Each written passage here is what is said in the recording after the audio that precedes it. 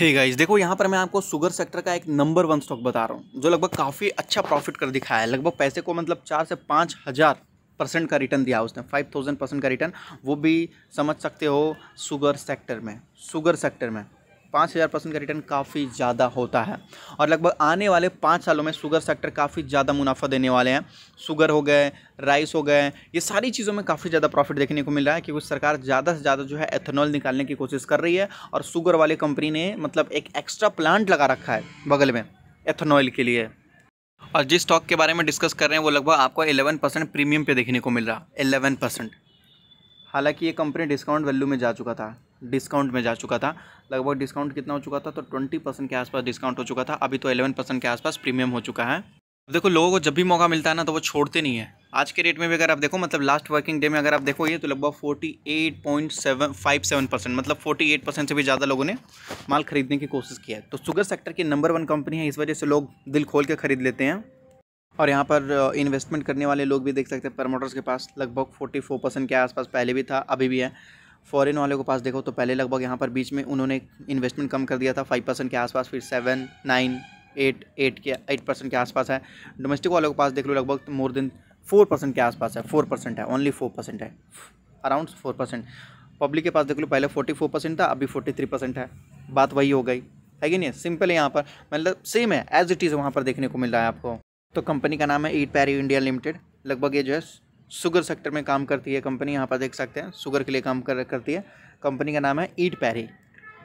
पहले देखिए, कंपनी जो है कई बार अच्छा खासा जो है डिविडेंड दे चुकी है। यहाँ पर अगर आप देखोगे तो इस, ये आपको डिविडेंड के बारे में बताया जा रहा है, ये देख सकते हैं टोटल।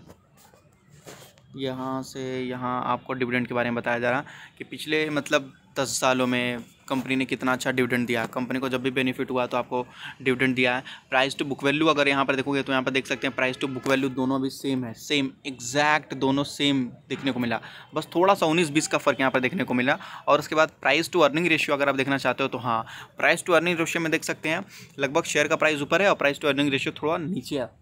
मतलब ये स्टॉक थोड़ा सा अभी जो है हाई पे है। बस थोड़ा सा हाई पे है यहाँ पर।